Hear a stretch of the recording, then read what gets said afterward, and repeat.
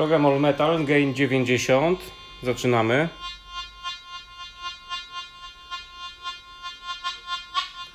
Dobrze, przejdźmy do programu Fast. Zobaczmy, jak program Fast będzie się zachowywał. Tak samo zmienimy gain na 90.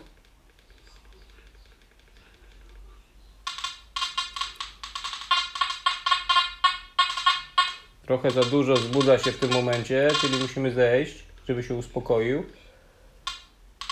Powiedzmy na 80. Jesteśmy w takich warunkach, a nie innych. Proszę. Taki mały łańcuszek. Za dużo jest w tym momencie. Wrzucę na boosta. Zobacz, zostawię go na gainie 70. Piękny, wyraźny sygnał. Maleńki, cienki, złoty łańcuszek. A teraz weźmy program Micro i spróbujmy jednak podciągnąć ten gain.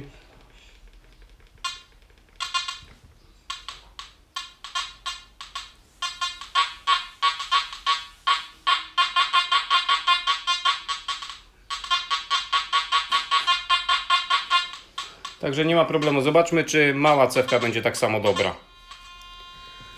All Metal Gain na 90.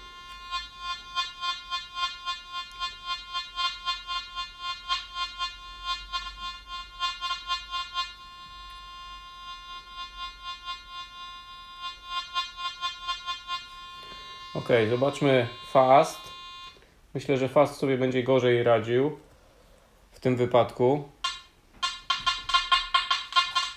Nawet sobie radzi, ale radzi, ale niestety w pomieszczeniu dość mocne są zakłócenia. Boost na 70. Piękny sygnał. Takie maleństwo. A podkręćmy gain.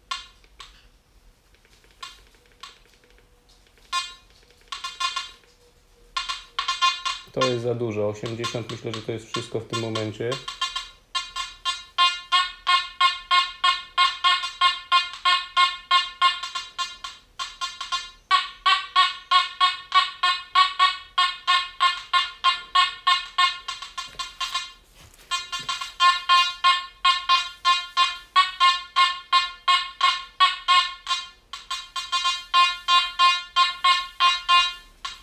Dobra, przejdźmy na map program Micro.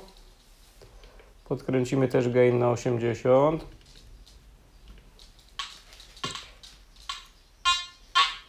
Poczekajmy aż się ID pokaże na wyświetlaczu.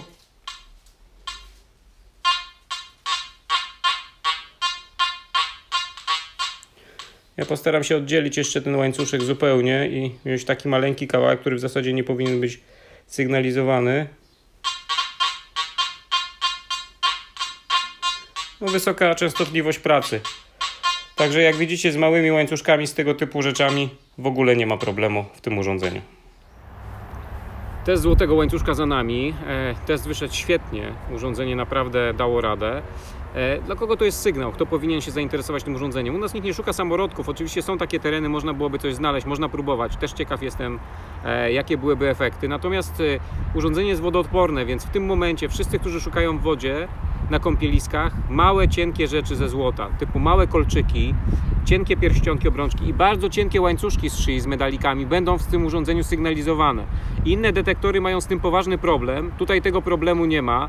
E, Macro Gold Cruiser po prostu sobie z tym radzi z racji częstotliwości. To nie jest jakaś cecha wybitna, tylko to jest częstotliwość pracy. I myślę, że jako drugi wykrywacz dla kogoś, kto chodzi po zbiornikach wodnych, szuka właśnie takich rzeczy zgubionych w wodzie, to będzie najlepsza odpowiedź. Oczywiście nie wiem, jak się będzie zachowywał w słonej wodzie.